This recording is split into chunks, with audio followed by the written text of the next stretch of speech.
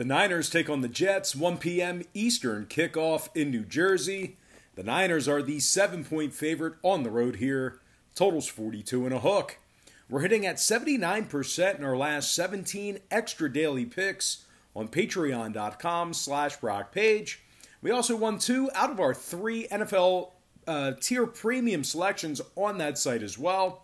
For more information on how you can gain access to this exclusive premium sports betting content, link for that site is in the description section below. And once again, that's patreon.com slash Brock Page. Now, the Jets gave up 27 points to the Bills in their week one loss. They also failed to cover the number in that spot as well.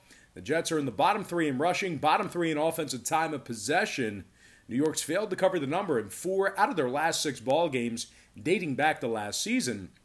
Williamson and Perine are questionable. Le'Veon Bell, uh, Le'Veon Bell, excuse me, is out with a hammy. They're taking on a Niners team who ranks in the top 10 in the league in yards per play, despite their opening day loss to Arizona. Jimmy G threw for 259 yards and a couple of touchdowns, despite some accuracy issues.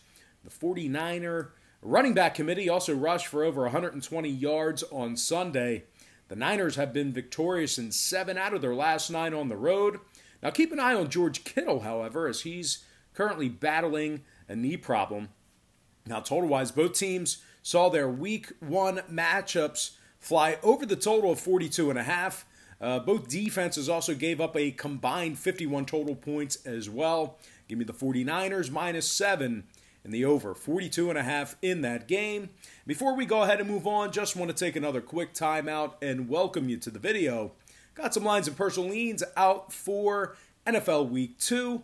But before we dive into some more free content right here on YouTube, I just have to quickly remind you once again that we are hitting at 79% in our last 17 extra daily picks on patreon.com slash Brock Page. We're also uh, we were also victorious in two out of our three premium NFL tier selections on that site as well in week one.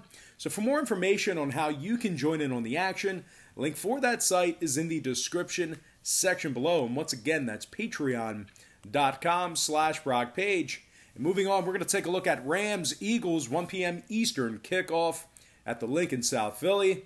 The Rams are the one point favorite on the road, totals 46. Now, the Eagles blew a 17 point lead and gave up 27 unanswered in their week one loss to the team with no name. Philadelphia failed to establish a running game, and they rushed for less than 60 yards in that contest. Philly currently ranks in the bottom three in yards per play. They're going to have to go to work uh, still without Will Parks and Alshon Jeffery, And they're also uh, going to have to go to work without Vinny Curry. He's going to join them as well. Uh, Brandon Graham, Lane Johnson, Derek Barnett, Miles Sanders, they're all banged up and listed as questionable as well. Very key components to this Eagles squad. Uh, the Eagles' patchwork offensive line is certainly going to face problems going up against Aaron Donald this Sunday. And unfortunately, Doug Pederson's inability to protect his quarterback when Washington's teeing off on him uh, is truly alarming as well. Uh, the Birds are uh, taking on a Rams team who took care of the Cowboys 20 to 17 in their season opener. They held Dallas to just 17 points, and they rank in the top three uh, in the league in defensive time of possession, staying very fresh. Uh, Jordan Fuller leads the team in tackles with eight. Micah Kiser has seven tackles and two uh, PBUs. Donald Floyd and Brockers all had sacks on Sunday as well. And if things go for the Eagles the way they did against Washington, uh, this Rams D line should be on pace for about 16 sacks on Sunday. Now, total wise, both offenses looked a little bit shaky in week one. And as bad as this Philly team played, they actually rank in the top three in the league in defensive yards uh, per play. They did show some bright spots defensively. This number looks a little bit high to me, so I'm going to go ahead and lean toward the LA Rams minus one and the under 46 points in that contest. All right, next matchup Panthers Bucks, 1 p.m. East. The Buccaneers are the nine point favorite, totals 47 and a hook. This Buccaneer defense gave up 34 points in their opener, and they rank in the bottom 10 of the league in defense at time of possession. They're they were on the field a whole lot. Uh, Tom Brady kind of looked like a shell of himself, but really, if you think about it, his performance wasn't all too different than what we saw last year. Uh, he wasn't great last year. Didn't look good in week one. Guy couldn't make the throws last year, and he's certainly, you know, struggling with those out patterns to his talented receivers this year. We saw that in week one. Of course, Bruce Arians kind of threw some shots at him in the post-game press conference, and I know what people say about Arians. That's what he does, but uh, they've been pretty personal throughout this whole Brady experience uh, since his signing. He really has been taking jabs at him. Now, if you're into historical data, the Bucks have failed to cover the number in five out of their last six hosting the Panthers. Uh, they're also just one and five against the number in their last six divisional games. Now they are taking a uh, taking on a Panthers squad who scored 30 points in Week One despite losing that contest. They look pretty good offensively. The Panthers are in the top 10 in passing, top 10 in yards per play. Teddy Bridgewater looked really good. He threw for 270 yards and a touchdown. Christian McCaffrey, well, no surprise there. He rushed for 96 yards and also had three catches for 38. He scored twice on the ground Sunday. And newly acquired Robbie Anderson, he looked awesome as well. He caught six balls from Teddy for 115 total yards and a touchdown himself. The uh, offensive problems certainly seem to be addressed in Charlotte. Uh, defensive guru Matt Rhule is now going to have to do his part in the defensive side of things. Uh, the Panthers have won 10 out of their last 14 head-to-head meetings with the Bucks over the years. If you're into historical trends, now total-wise, both teams flew way over their respective totals in Week One. The offenses combined uh, for 53 total points, while their defenses gave up 68 combined. So with all that said and done, I think Carolina should keep this one close. Give me the Carolina Panthers plus nine and the over 47 and a half in that game. Next matchup. Team with no name taking on the Cardinals. 4:05 p.m. Eastern start time. Arizona is the six and a half point favorite. Totals 47 and a hook. Arizona took care of the defending NFC champs by the final of 24 to 20 in their opener. Kyler Murray threw for 230 yards and also ran for 91. DeAndre Hopkins had 14 catches for 151 yards. He currently leads the league in receptions. Now, the Cardinals' offense ranks in the top three in rushing, top 10 in offensive time of possession. They're going to take on a ferocious Washington D line, but Kyler's escapability and mobility uh, should be enough to keep them out of trouble. The Cards are, uh, they're not going to just, uh, he's not going to let you tee off on them. And the Cards are taking on a Washington team who really kind of took advantage of a depleted Eagles team in game one. Uh, and despite being 1 0, their performance was rather lackluster in week one. I'm not going to lie. For the exception of their D line, the football team ranks in the bottom three in the league in passing yards, bottom five in rushing. And looking inept and anemic at times, this Washington offense averaged just 3.4 yards per play in their opener against Philadelphia. Now, Davis, Fuller, and Charles are all listed as questionable for Sunday's action. And when it comes to the total on this one, I'm certainly not expecting a whole lot of fireworks out of this Washington offense. And once again, this Arizona defense ranks in the top 10 in defensive time of possession. So it uh, really does a good job staying fresh, staying off the field. Give me the Cardinals minus six and a half and the under 47 and a hook in that game. Next contest, Chiefs Chargers, 4:25 p.m. East. Kansas City's minus eight and a half, totals 47 and a hook. The Chargers are plus 320 for an upset win. Despite getting the W in week one, the Chargers really struggled with a bad Cincinnati team led by a quarterback making his first career start, and they were actually also just a chip shot away from going into overtime. The Chargers rank in the bottom half of the league in yards per play, bottom 10 in passing. These guys just can't move the ball. Tyrod Taylor completed just 53% of his passes, and he was sacked twice. Taylor failed to throw a touchdown pass through the air as well. Now, Tranquill's out, Pouncey Turner and Jackson are all questionable for Los Angeles. The Chargers have failed to cover the number in their last six games hosting the Chiefs. So if you're into historical trends, if you're a little superstitious, that's pretty alarming. They're also winless in their last six divisional contests. Now they're taking on a Kansas City club who literally returned to form in week one. Didn't even look like they had a week off from the time they won the Super Bowl.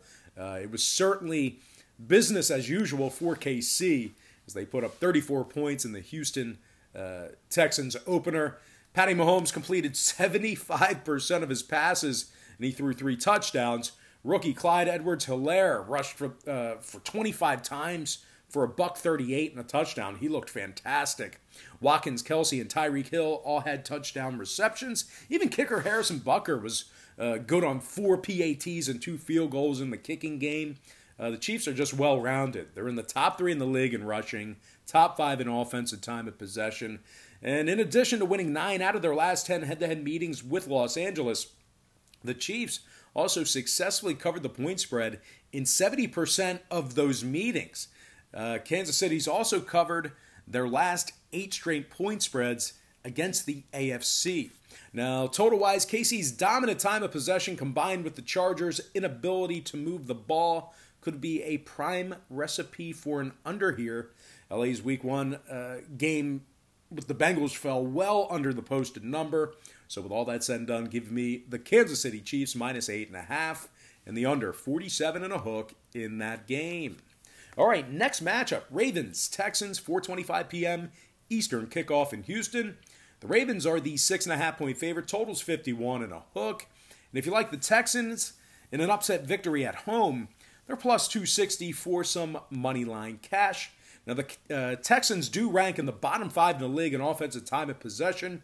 They're in the bottom half of the league in rushing as well. They've lost eight out of their last 10 head to head meetings with Baltimore, and they'll have to go to work potentially without the uh, services of David Johnson, Cole, and Greenard. Uh, those guys are banged up right now, listed as questionable. Houston's also in the top three in the league in most rush yards allowed per game. They're taking on a Baltimore club who just absolutely decimated the Browns in week one by the final of 38 to 6. Lamar Jackson, he completed 80% of his passes for 275 yards and three touchdowns. He also ran seven times for 45 yards as well. Marquise Brown had over 100 yards receiving for the Ravens. Andrews had a couple of TD receptions from that tight end spot. And of course, Snead had four catches for 64 yards and a score himself. They rank in the top 10 in pass yards, top 5 in yards on average per play. The Baltimore Ravens have won 10 out of their last 11 contests against the AFC. They also rank in the top 5 in pass yards allowed, top 5 in yards allowed per play. Very good defensively. Patrick Queen, the young guy, leads the club in tackles with 8. He also has a sack and a forced fumble. LJ Fort, he has six tackles along for uh, along with a tackle for loss. And Calais Campbell also had three pass deflections from the D line. When it comes to the total in this one, four out of Baltimore's last five games at NRG Stadium got over the posted total. Meanwhile, the Texans on the other side went over the number in week one themselves. Give me the Ravens minus six and a half in the over, 51 and a hook in that game. Next matchup Patriots Seahawks. Sunday night primetime game, and that's going to be an 8:20 p.m. Eastern kickoff. Now the Seahawks are the four point favorite at home here. They're laying four points. Totals 45. The Patriots are plus $1.75 for an outright victory. Now, the Patriots also rank in the top three in the league in rushing, top five in offensive time of possession. They're coming off a very solid 21 to 11 divisional victory over the Dolphins in week one. Cam Newton ran for 75 yards and two touchdowns. Sony Michel also scored on the ground as well. Cam completed 79% of his passes, very efficient, and he found Julian Edelman five times for 57 yards. This Patriot defense, like I talked about last week, continues to look absolutely dominant. Top 10 in pass yards allowed, top 10 in yards allowed per play. Phillips and Gilmore each had an interception. Uh, Jackson had a pick as well. Uh, three interceptions to start off this season. Rivers had a sack. Chase Winovich uh, had six tackles and one for loss. Uh, New England's defense ranks in the top 10 in fewest rush yards allowed. They've also successfully covered the number in five out of their last six meetings with the NFC West. They're taking on a Seattle team who gave up 25 points to Atlanta in their season opener. They rank the top three in most pass yards allowed, top five in most yards allowed per play. Now, Seattle's failed to cover the number in seven out of their last nine ball games at CenturyLink Field. Not all that great against the number at home. And as good as Russ and the receiving corps looked uh, in week one against Atlanta, they rank in the bottom 10 in rushing. They did not establish a rushing game. Now, total wise, I can't see the Seahawks putting up 38 on this New England D. The Patriot offense and defense were both absolutely dominant in time of possession in their opener. Give me the New England Patriots plus four, keeping this one close, and the under 45 in that contest. And with that, we're going to dive into our next and final matchup of the show. It is going to be Saints Raiders, 8:15 p.m. Eastern Star Time on Monday night. And this will be the inaugural NFL contest in Allegiant Stadium in Sin City. The Saints are the five and a half point favorite in the Raiders home opener. Totals 49 and a hook. And if you think uh, Las Vegas will get lucky in their home opener, they're plus $2 for an outright win.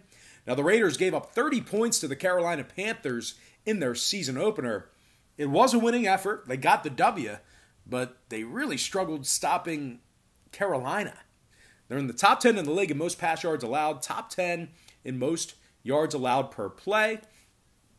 Young, Brown, and Ruggs are all listed as questionable for the home opener for Vegas, and they are taking on a Saints team who absolutely dominated Tom Brady in the Bucks in their season opener.